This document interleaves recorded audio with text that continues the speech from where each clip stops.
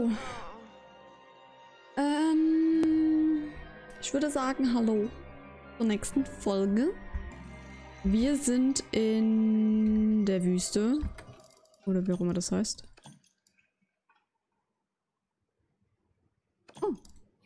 Ähm, wir haben ja endlich Rattalos geschafft, nach mehreren Versuchen. Jetzt freue ich mich natürlich auf den nächsten äh, ätzenden Gegner, den ähm, Diablos. Ich bin sehr gespannt. Bezweifle, dass ich den direkt am Anfang schaffen werde. Sagen wir es mal so. Mit ausgedrückt für mich selbst. Ähm, ja, wir werden sehen, äh, was ich dazu sagen soll. Äh, erstmal suchen wir den lieben Herrn. Also ich habe diesmal wirklich dran gedacht, dass ich äh, alle mitnehme. Ich müsste mal wirklich versuchen, mehr mit den Fallen zu arbeiten, mir vielleicht noch eine andere Falle zu bauen, dass ich mehrere dabei habe. Ähm, hätte ich vielleicht jetzt vorher auch gerade mal machen können, habe ich jetzt gedacht. Ja, aber ich habe die Fallen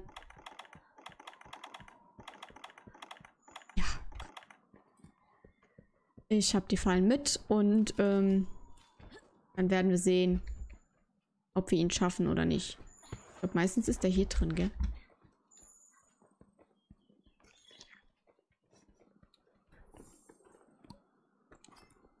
Meine zumindest, dass ich dem hier schon mal begegnet bin.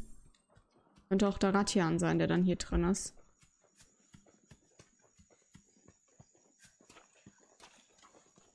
Okay. Oder es ist einfach gar keiner da.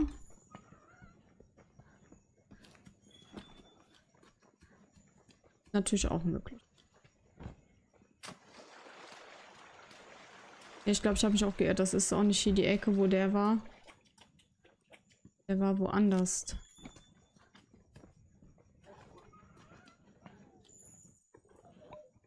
Oh Gott.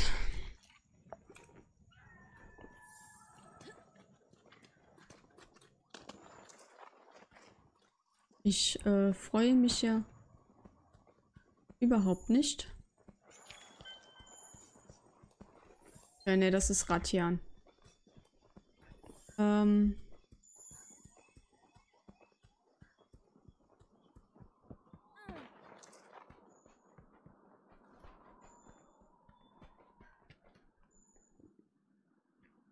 Das da könnte Diablos sein. Folgen einfach den Spuren.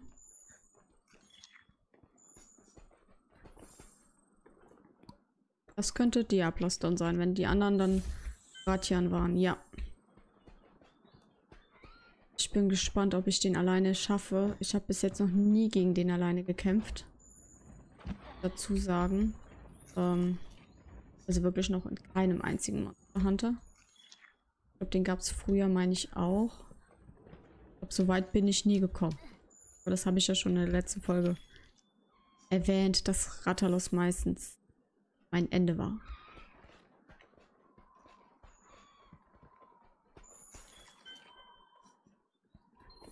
Diablos. Dann gucken wir mal. Also ich weiß gut, wir haben ja schon mal gegen Diablos gekämpft. Ist ja jetzt nicht so, dass wir noch nie gegen den gekämpft hätten.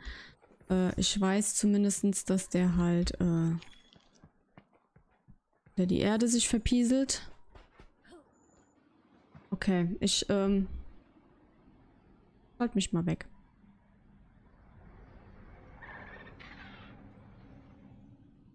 Ich wusste nicht, dass deine Filmsequenz noch kommt.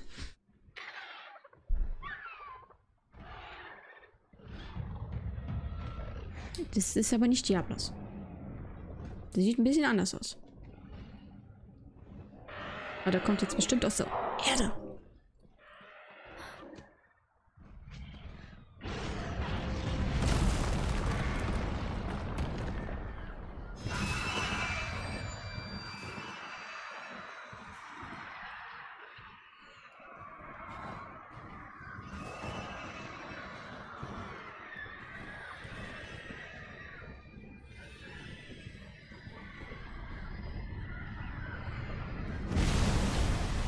Ich wusste es.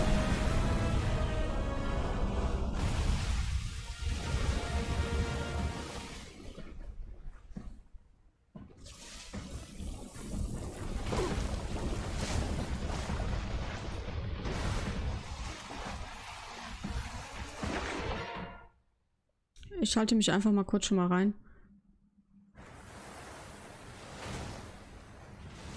Kann ja nicht mehr viel Film sein.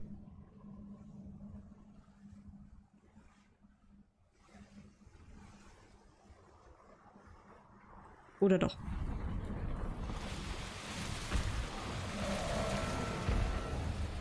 Also ich muss sagen, da finde ich Rattalos schon schöner.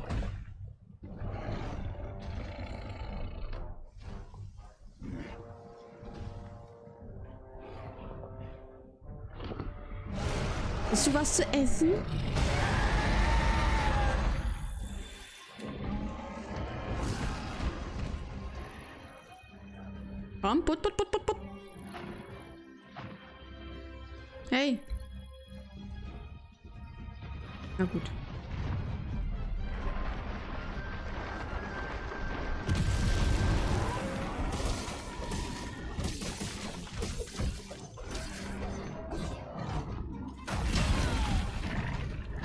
Ich muss mich schneller bewegen.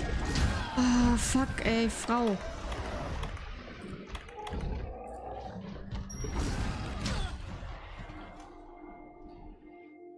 WTF. Ich hatte gar keine Chance. Die wollte sich einfach nicht bewegen. Gut. Ich glaube, die Frage erübt sich bei... Übt, äh, ist, was ich meine. Übt, erübrigt sich ob ich den äh, schaffe. Was soll das sein? Bitte.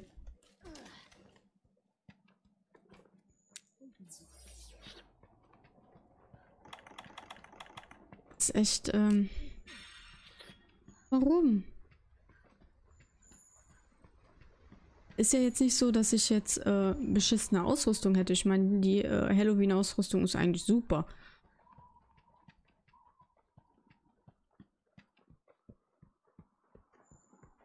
Oh, ich glaube, ich wurde gerade gespoilert.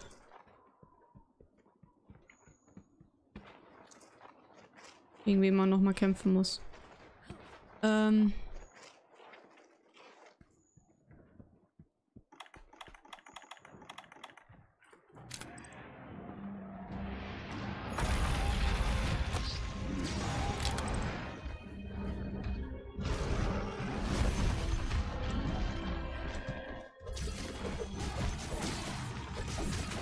das Problem ist halt, das ist ein ganz anderes Kämpfen, wenn man weiß, dass man irgendwie zusammen das gemacht hat.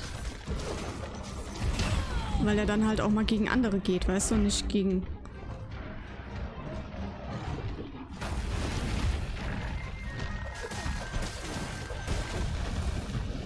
Jetzt verpiss dich. Oh, du sollst nicht springen, hör auf, geh.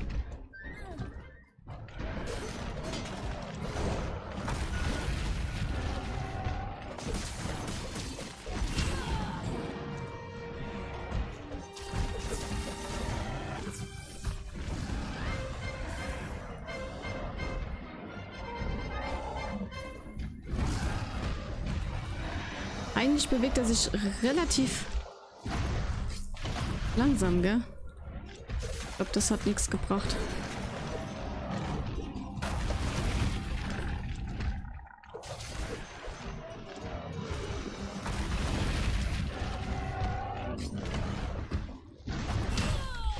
Okay, damit habe ich nicht gerechnet.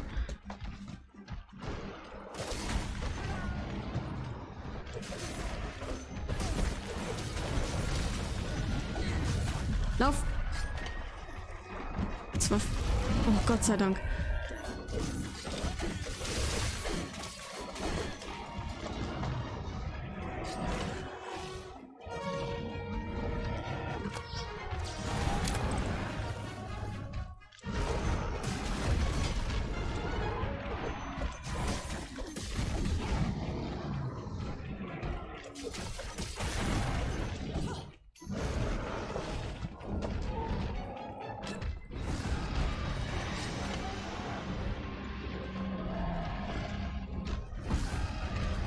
Ist halt der Vorteil. Er bewegt sich relativ langsam. Oh, shit.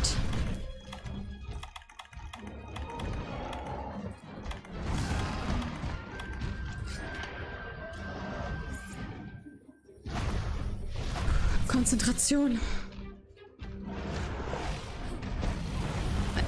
Steh auf.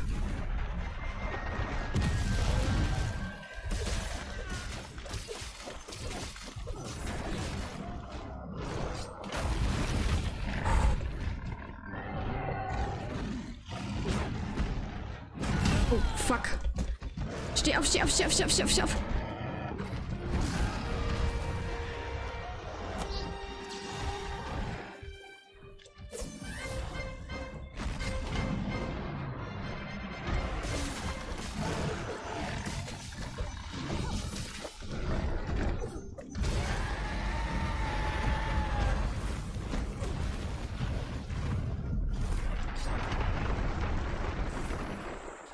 Okay, der haut, glaube ich, ab, gell?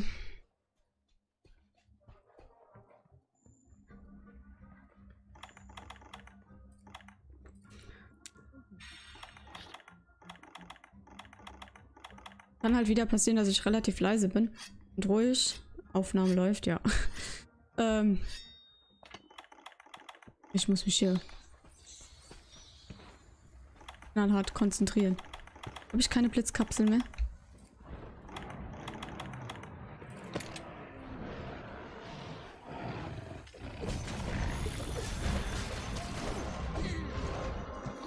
Aber nicht in sein Gesicht springen, du blöde. Fuck.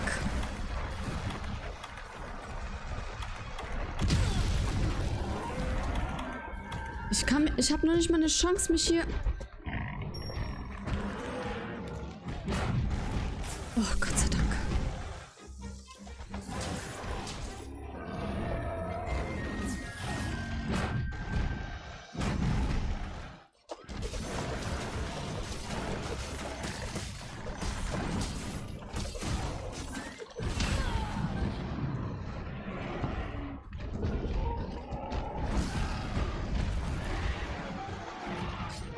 Was bringt ihr eigentlich?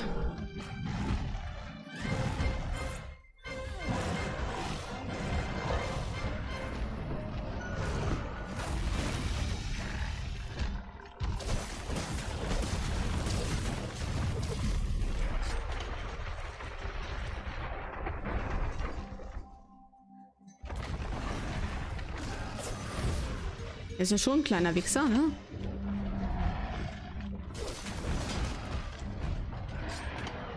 Eigentlich ist er auch nicht so turbo schnell.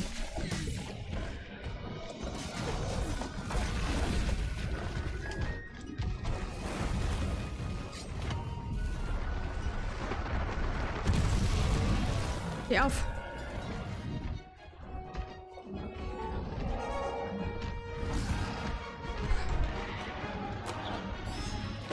Weiß zwar nicht, was diese Schreikapsel bewirkt, aber gut.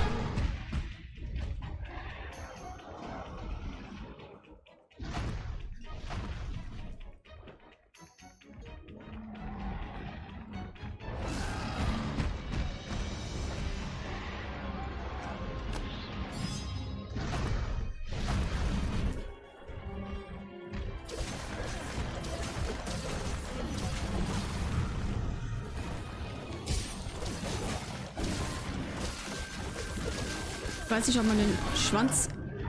Geil. Kann den Schwanz abhacken.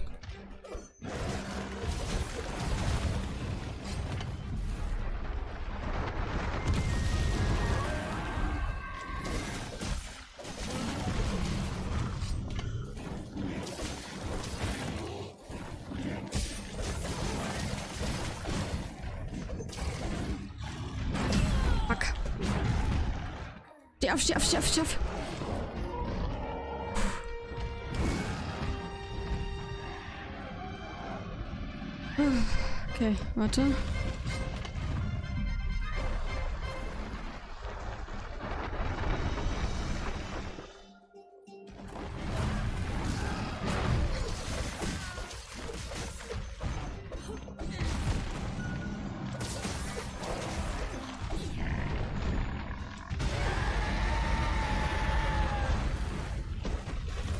Oder jetzt ab?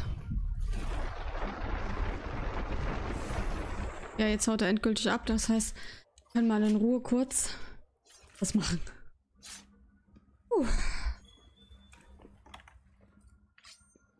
Er hat noch keinen Totenkopf und nix. Schade. Wäre schön, wenn der schon einen Totenkopf hätte. Äh, Maxi-Trank kann ich, glaube ich, nicht verwenden, ne?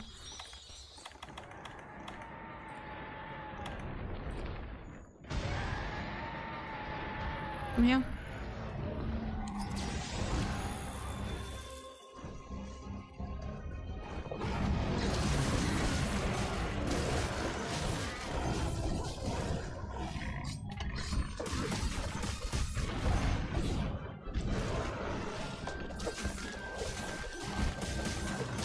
Wieso kommt ein Schrat ja nie, wenn man ihn braucht?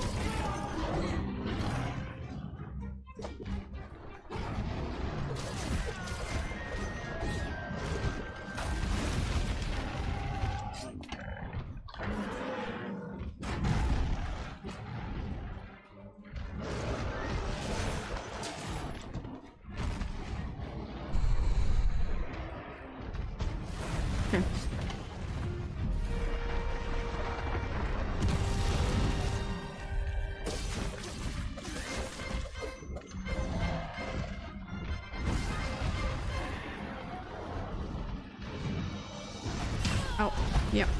Das, ähm...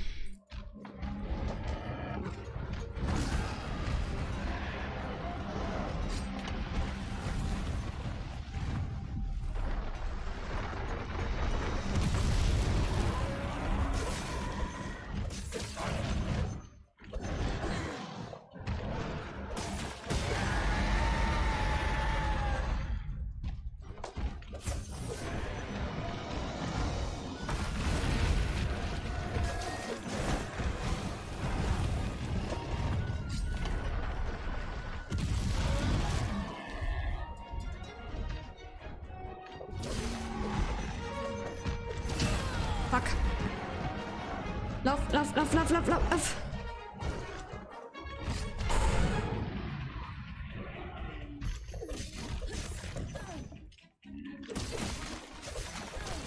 Komm, kipp um. Ich will dein letztes Horn haben.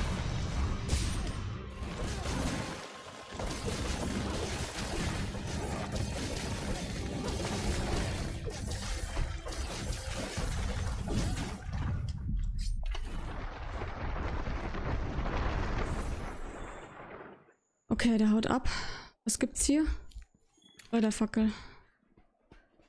Puh. Ich glaube, wir kriegen den aber ganz schön, also ganz gut hin. Ich schwätze einfach mal die Waffe schon mal. Wenn der halt irgendwo mal schlafen würde, wüssten wir, dass der fertig ist. Ich finde, das ist immer schwer zu sagen, ob der das Vieh fertig ist oder nicht. Weiß nicht. Ich finde das immer so schwer zu entscheiden. Und wenn man dann die Falle benutzt hat und dann ist das Vieh nicht fertig mit der Welt, dann hat man die Arschkarte gezogen. Falls ihr wisst, was ich meine.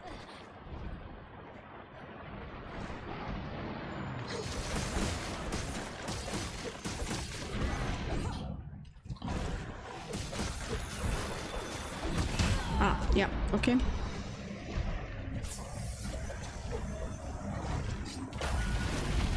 Nein, nein, nein, nein, nein, nein, nein, nein, nein, nein, nein,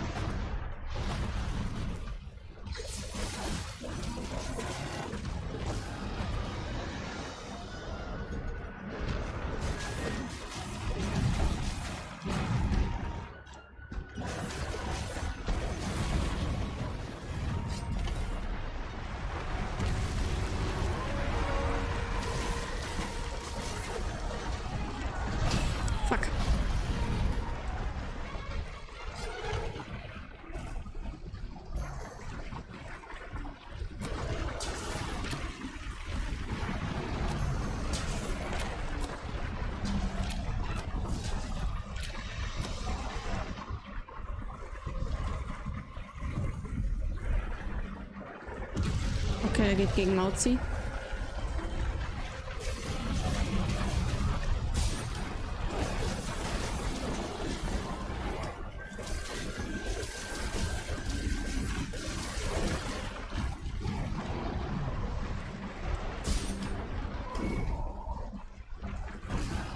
Boah, das ist mega laut hier. Ich habe gerade ein bisschen Probleme, mich hier zu konzentrieren.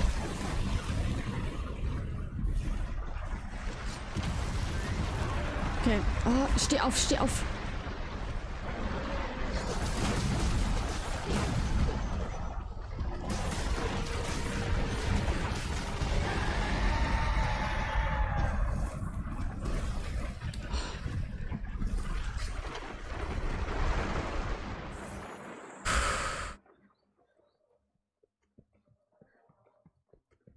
Ich denke, der ist langsam kaputt. Aber ich bin mir halt nicht sicher, wisst ihr? So. Ich finde, es ist so schwer, das zu deuten, ob der jetzt wirklich kaputt ist oder nicht. Will mich verarschen? Es wäre geil, wenn Ratjan dazwischen käme. Wenn man den mal braucht, wisst ihr, dann kommt der nicht. Oder sie. Ratjan ist ja, glaube ich, das Weibchen. Mich verkackeiern, hast du den jetzt verloren? Hey, willst du mich verarschen, du kleines Mistvieh?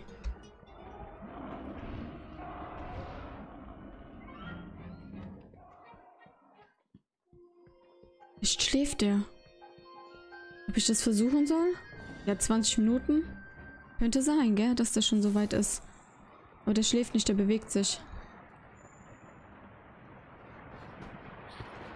Oder?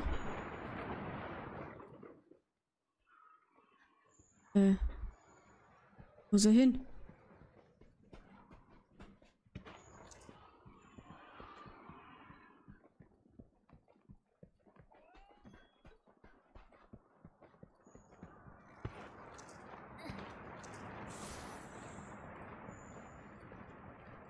Hier unten drunter?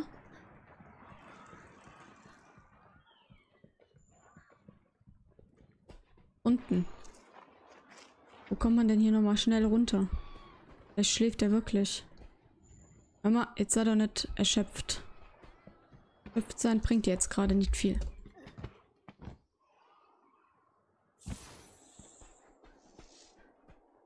Schläft. Hoffentlich. Und hoffentlich reicht es auch.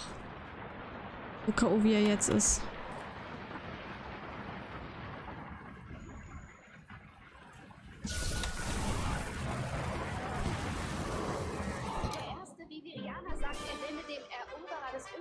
Will.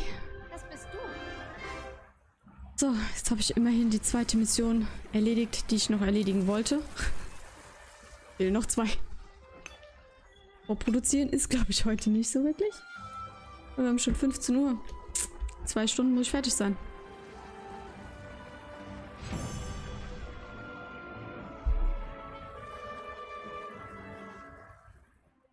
Okay, ähm... Aber wir haben jetzt gelernt, es ist einfacher, jemanden zu fangen. Dann ist man schneller, wesentlich schneller fertig, als wenn man, ähm... Ja. Also tötet, meine ich.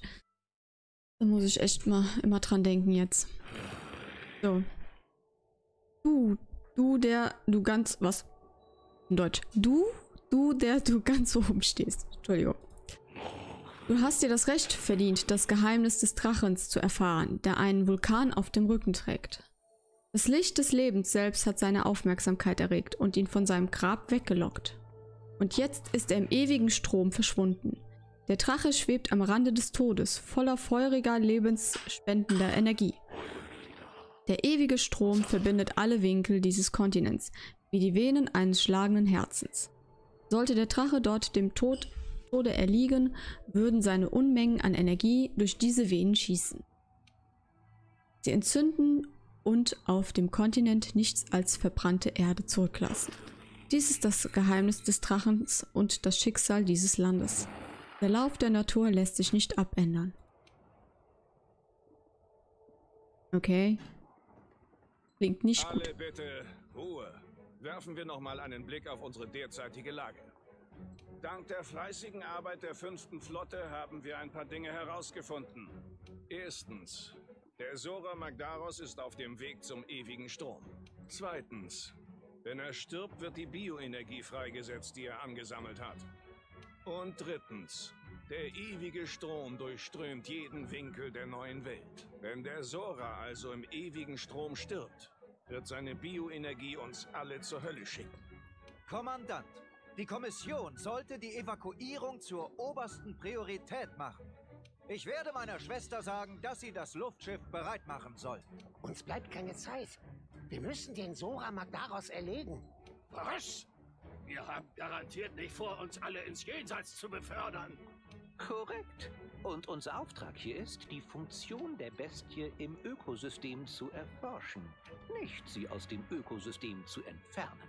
Ähm, vielleicht habe ich da eine Alternative. Was, wenn wir versuchen, ihn irgendwie vom ewigen Strom wegzulocken? Ihn weglocken? Ja, Sir. Ich habe etwas recherchiert. Der ewige Strom grenzt doch ans Meer, oder? Wenn wir den Sora Magdaros also aufs offene Meer locken könnten, Klingt logisch. Dann könnten wir der Explosion entgehen. Und die freigesetzte Bioenergie erschafft im Meer ein neues Ökosystem. Das Leben ginge weiter. Muss ich Sie daran erinnern, Sir, dass unsere Vorräte gerade knapp sind von unseren Fangversuchen? Selbst wenn wir genug Vorräte hätten, mit welcher Waffe könnten wir ihn denn von seinem Weg abbringen? Keine Sorge, ich habe einen Plan. Einen sehr großen Plan. Ist das das, für das ich es halte? Haha, jetzt wird's interessant.